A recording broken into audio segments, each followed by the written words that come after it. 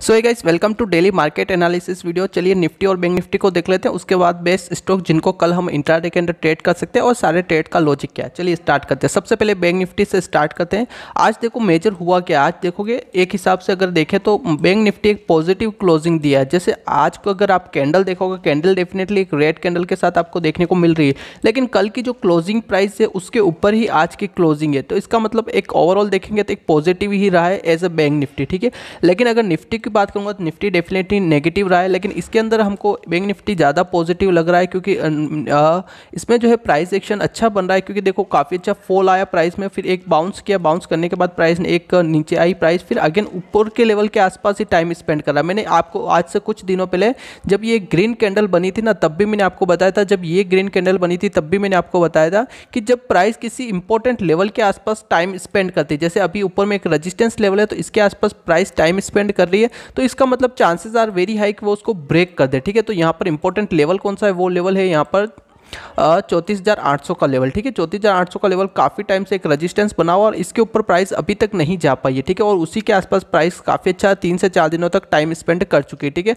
तो अगर upside breakout होता है तो एक बड़ी तेज़ी इसके बाद देखने को मिल सकती है। चांसेस आर वेरी हाई कि ये इसको अपसाइड ब्रेकआउट करेगी और टाइम स्पेंड करने के बाद ब्रेकआउट करती है डेफिनेटली वो एक सस्टेनेबल ब्रेकआउट होता है। अगर इमीजिएटली कोई बड़ी ग्रीन कैंडल के साथ ब्रेकआउट होता है तो उसको हम सस्टेनेबल उस पर बिलीव नहीं कर सकते, लेकिन टाइम स्पेंड हो चुका है तीन से चार दिन। अगर अगर आप इस चौंतीस का लेवल ब्रेक करती है प्राइस।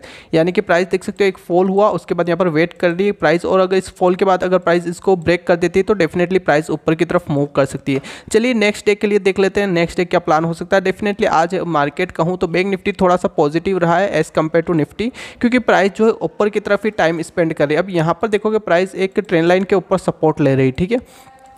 तो कल अगर प्राइस इस ट्रेंड लाइन को ब्रेक करती तो हम शॉर्ट के लिए भी प्लान कर सकते हैं। नेक्स्ट डे अगर प्राइस साइडवेज ओपन उसके लिए कंडीशन ये है कि प्राइस साइडवेज ओपन होनी चाहिए, यानी कि इस रेंज के बीच में कहीं पर भी ओपन हो, ठीक है?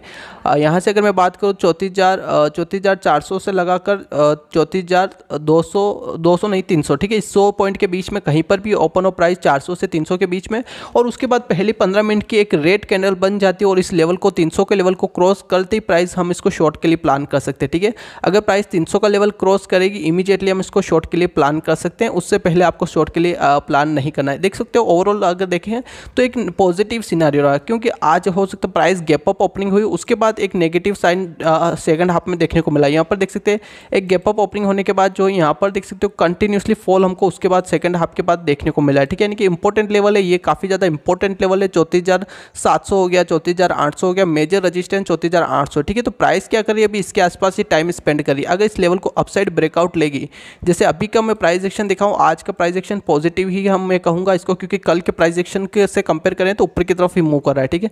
तो यहाँ पर एक दो दिन और वेट करके अगर इसको ब्रेक कर देती प्राइस तो कन्फर्मेशन हो जाएगी अपर साइड ब्रेकआउट हो जाएगा, उसके बाद हम लॉन्ग पोजिशन बना सकते हैं इसके अंदर, ठीक है? और कल के लेकर बात करूँ तो अगर कल प्राइस इस तीन सौ के लेवल को क्रॉस करते हैं, हम इसको शॉर्ट के लिए प्लान कर सकते हैं। इमीजिएटली साइडवेज ओपन होना चाहिए, तीन सौ से चार सौ के बीच में कहीं पर भी ओपन हो, और तीन का लेवल क्रॉस करते ही आज का जो डे लो है, इसको क्रॉस करते ही हम शॉर्ट के लिए प्लान करेंगे। नीचे में जो टारगेट्स लेवल की बात करूँ तो ये मेजर रजिस्टेंस होगा चौंतीस हज़ार एक सौ अस्सी के आसपास, ठीक है? ये लेवल क्रॉस होता है तो उसके बाद जो नेक्स्ट सपोर्ट लेवल है, इसका वो जो इसका डे लो है, यानी कि चौंतीस हज़ार एक सौ के आसपास, ठीक है? ये दो मेजर टारगेट लेवल होंगे। अगर ये दोनों चौंतीस हज़ार एक सौ का लेवल कल क्रॉस हो जाता है तो उसके बाद हमको एक शार्प सेलिंग देखने को मिल सकती है, बड़ी गिरावट हमको इसमें देखने को मिल सकती है। बाय के लिए बात करूँ तो प्राइस अगर साइडवेज ओपन होती तो आपको इमीजिएटली बाय नहीं करना है, क्योंकि मार्केट ओवरऑल अभी नेगेटिव सिनारियों के अंदर है तो ज़्यादा हमको अग्रेसिवली बाय के लिए प्लान नहीं करना है। अगर प्राइस साइडवेज ओपन होकर इस लेवल को, यानी कि चौंतीस हज़ार 500 का लेवल क्रॉस करती है, ठीक है? चौंतीस हज़ार पाँच सौ का लेवल क्रॉस करते हैं, हम इसको बाइक के लिए प्लान कर सकते हैं। यहाँ से अगर बाइक के लिए प्लान करेंगे, टारगेट होना चाहिए आपका,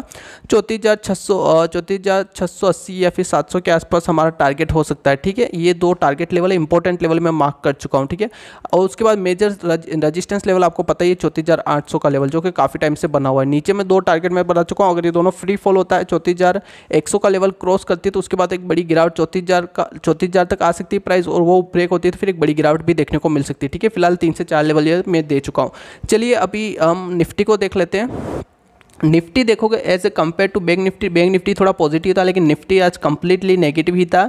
मैंने आपको कल जो लेवल्स दिए थे सारे लेवल एज इट इज़ थे यहाँ पर देख सकते हो कल मैंने एक लेवल दिया था 16,230 का लेवल ठीक है? इसके ऊपर रजिस्टेंस था एंड ऑलमोस्ट प्राइस सोलह दो के आसपास ओपन हुई और ओपन होने के बाद पहली एक डोजी कैंडल बनी। पंद्रह मिनट के अंदर डोजी कैंडल बनी तो यहाँ पर आपको इग्नोर करना था एंड डोजी कैंडल के बाद सिंपली इस ऊपर में जो रजिस्टेंस था सोलह का लेवल ये क्रॉस नहीं हुआ प्राइस से और नीचे में देख सकते हो जो पंद्रह मिनट का लो ब्रेक हुआ उसके बाद कंटिन्यूसली गिरावट दो कैंडल तक देखने को मिली। लेकिन जो सपोर्ट लेवल था, जो कि मैंने कल आपको बताया था, सोलह एक का लेवल ठीक है? उसके ऊपर काफ़ी ज़्यादा प्राइस ने टाइम स्पेंड किया। एंड उसके बाद एक बड़ी रेड कैंडल यहाँ पर देखने को मिली और इस लेवल के आसपास आपको पुट बाय करना था और जिन लोगों ने यहाँ पर पुट बाय किया होगा, क्योंकि सोलह एक का लेवल मैं आपको दिया था और उसके नीचे प्राइस क्लोजिंग दे चुकी थी, ठीक है? एक बड़ी रेड कैंडल के साथ। तो यहाँ पर आपने पुट बाय किया होगा डेफिनेटली आपका काफ़ी अच्छा पैसा इसमें बना होगा, ठीक है? और नीचे में जो टारगेट लेवल मैंने बताया था, यहाँ पर सोलह सोलह सोलह हज़ार के आसपास, सोलह चालीस, सोलह हज़ार चालीस के आसपास तो समवेयर अराउंड उसी के आसपास प्राइस क्लोजिंग दी। ज़्यादा ऊपर नीचे नहीं हुआ, ठीक है? उसी के आसपास जो मैंने आप सपोर्ट लेवल बताया था, उसी के आसपास क्लोजिंग दी, ठीक है?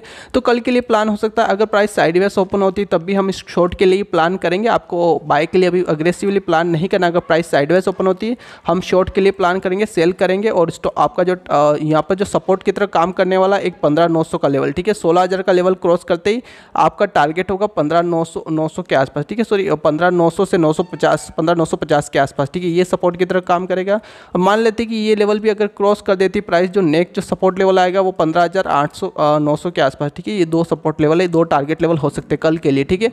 तो बाकी पुराने लेवल एज ए टी से जो कि मैंने कल कल परसों जो दिए थे, वो लेवल वैसे के वैसे ही आप चाहो स्क्रीन के ऊपर देख सकते हो, ठीक है?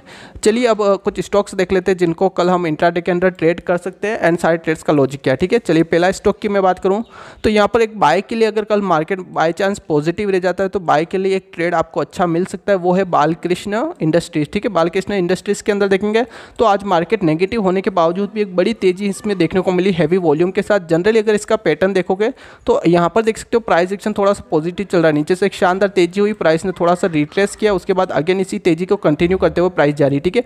एंड यहाँ से प्राइस जो ऊपर में एक इंपॉर्टेंट रजिस्टेंस लेवल है, बाईस बाईस का लेवल ठीक है? तो वहाँ तक प्राइस जा सकती है, ठीक है? तो बाईस सौ बीस तक हमारा टारगेट हो सकता है प्राइस अगर अपने साइडवाइज ओपन होकर डे हाई को क्रॉस करती है, यानी कि प्राइस वाइज बात करूँ तो इक्कीस का लेवल क्रॉस करते ही, ठीक है? इक्कीस सौ से पिचहत्तर का लेवल क्रॉस करते ही, हम इसको बाय के लिए प्लान कर सकते हैं। टारगेट होना चाहिए बाईस के आसपास मैक्सिमम इतना टारगेट रखेंगे, इससे बड़ा टारगेट नहीं रखेंगे। बीच में अगर और भी रजिस्टेंस की बात करूँ तो उसके लिए छोटे टाइम फ्रेम का चार्ट लगा लेता हूँ। यहाँ पर स्टॉप लॉस की बात करूँ तो आपका स्टॉप लॉस होना चाहिए ऑलमोस्ट बीस से पच्चीस रुपये के आसपास। आप पच्चीस रुपये के आसपास स्टॉप लॉस होगा last swing last swing low के आसपास। तो यहाँ पर आपको देखो अग्रेसिवली प्लान नहीं करना। पहले चीज़ों को समझना है, क्योंकि आज मार्केट नेगेटिव था इसमें आज बड़ी तेज़ी हुई तो हो सकता है कल रिट्रेसमेंट हो या फिर इसी को कंटिन्यू करे ठीक है? तो प्राइस साइडवेज ओपन होकर आज का डे हाई ब्रेक करती है। पहले पंद्रह मिनट में आपको कुछ भी नहीं करना पंद्रह मिनट की कैंडल की क्लोजिंग के बाद देखना अगर डे हाई को क्रॉस कर, कर दिया इसने तो उसके बाद बाइक के लिए प्लान कर सकते हो। स्टॉप लॉस आपका होना चाहिए जनरली इक्कीस के आसपास ठीक है? आपका स्टॉप लॉस हो गया अड़तालीस से पचास के आसपास ठीक है?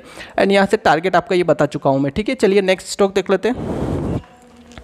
एंड नेक्स्ट स्टॉक है ओ एन जी सी ओ एन जी सी का अगर मैं डेली टाइम फ्रेम की कैंडल आज दिखाऊँ तो काफ़ी इंटरेस्टिंग कैंडल हमको देखने को मिली, काफ़ी अच्छी गिरावट इसमें आज देखने को मिली। पिछले तीन दिनों से देखोगे कंटिन्यूसली इसमें बड़ी बड़ी रेड कैंडल्स बन रही है और आज की एक शानदार नीचे में काफ़ी अच्छी गिरावट हुई, फिर से एक शानदार रिकवरी हुई। एक डोजी कैंडल के साथ क्लोजिंग दी इंपॉर्टेंट लेवल के आसपास, ठीक है, जो कि एक रजिस्टेंस लेवल था। तो अगर कल इस रजिस्टेंस लेवल को एक सौ तिरपन के लेवल को एक के लेवल को क्रॉस करती है फिर एक सौ के लेवल को क्रॉस करते हैं, हम इसको बाइक के लिए प्लान कर सकते हैं। ठीक है, मैं छोटे टाइम फ्रेम पर दिखा लेता हूँ एक बार। कि आपको किस तरीके से इसको प्लान करना है, ठीक है? आपका स्टॉप लॉस क्या हो सकता है? लास्ट में देखो एंड ऑफ़ द डे काफ़ी अच्छा टाइम स्पेंड यहाँ पे हुआ है। तो प्राइस में आपका स्टॉप लॉस होगा इक्यावन पॉइंट पचास के आसपास या फिर साठ के आसपास आप अपना स्टॉप लॉस इक्यावन पॉइंट पचास के आसपास स्टॉप लॉस होगा एंट्री पॉइंट एंट्री पॉइंट होगा। आज का जो डे हाई है वो क्रॉस होते ही। यानी कि एक का लेवल क्रॉस करते हैं, हम इसको बाइक के लिए प्लान कर सकते हैं। साइडवेज प्राइस ओपन होनी चाहिए, इसी जोन के बीच में कहीं पर भी ओपन होनी चाहिए, ठीक है? एंड उसके बाद टारगेट लेवल की बात करो तो दो टारगेट हो गए, एक सौ पचपन पॉइंट पचपन, एक के आसपास, दूसरा होगा एक सौ सत्तावन पॉइंट अस्सी के आसपास ये यहीं कहीं आपका टारगेट हो सकता है ठीक है? एक सौ सत्तावन पॉइंट पचास के आसपास ये दो टारगेट लेवल है ठीक है? आई होप कि ये समझ में आया होगा आपको चीज़ें। चलिए नेक्स्ट स्टॉक देख लेते हैं। नेक्स्ट uh, स्टॉक की बात करूँ रिलायंस इंडस्ट्री ठीक है? फिफ्टी मिनट टाइम फ्रेम के चार्ट के ऊपर देखिए तो एक चैनल पे प्राइस ट्रेड करी। मैं थोड़ा सा आपको एक्सप्लेन कर लेता हूँ एक बार इसको डिलीट करके फिर आपको वापस से समझाता हूँ ठीक है? तो यहाँ पर अगर आप देखोगे इसके अंदर क्या चल रहा है? प्राइस एक चैनल के बीच में चल रही फिफ्टी मिनट टाइम फ्रेम के चार्ट के ऊपर देखोगे तो प्राइस कंटिन्यूसली ऊपर की तरफ़ मूव करती जा रही है। एंड प्राइस अभी टॉप लेवल के आसपास देखो, काफ़ी ज़्यादा टाइम स्पेंड कर चुकी है। यहाँ पर जो हाई था, यहाँ पर था, उसके लो के आसपास जो सपोर्ट लेवल था, उसके आसपास आ चुकी है, ठीक है? तो इसका जो स्ट्रॉन्ग सपोर्ट लेवल है, वो छब्बीस का लेवल है। अगर छब्बीस का लेवल ब्रेक होता है तो एक बड़ी गिरावट कल हमको देखने को मिल सकती है, ठीक है? ओवरऑल देखो ट्रेंड मेजर है पॉजिटिव दिख रहा है, लेकिन हम इसको कॉन्ट्रा ट्रेडिंग के हिसाब से ट्रेड करें, क्योंकि काफ़ी ज़्यादा टाइम स्पेंड हुआ प्राइस एक चैनल के बीच में, ठीक है? तो अगर ये लेवल ब्रेक होता है, छब्बीस का लेवल क्रॉस करते हैं, हम इसको शॉर्ट के लिए प्लान